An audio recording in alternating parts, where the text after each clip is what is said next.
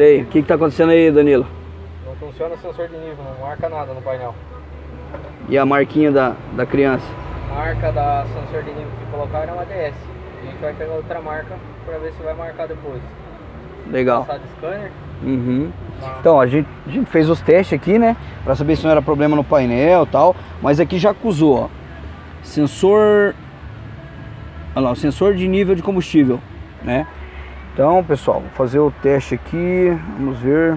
Que ano que é esse jeito aqui, Pia? 2014. Zeradão, né? Vamos selecionar aqui.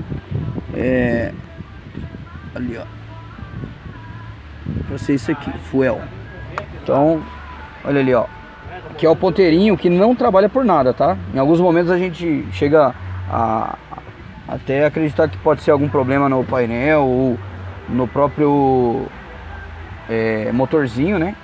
Vamos fazer o teste aqui então. É isso aí, escolhemos aqui a, a opção do fazer o teste do atuador do painel, né?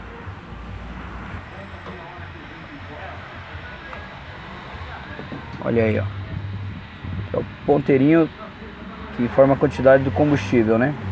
Então, a parte de teste do atuador do painel, filé, finalizado, boia com defeito.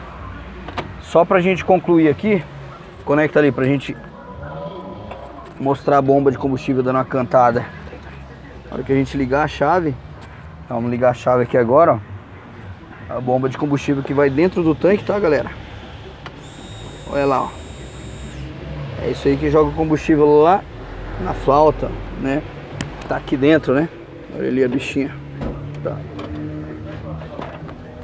É, tá, tá escondida. É isso aí, tiramos a dúvida da boia, mais um BOzinho de boia, né? Colocaram uma boia aí que não, não tem uma garantia de funcionamento. Pegar uma coisa mais garantida, uma marca melhor agora para fazer o teste.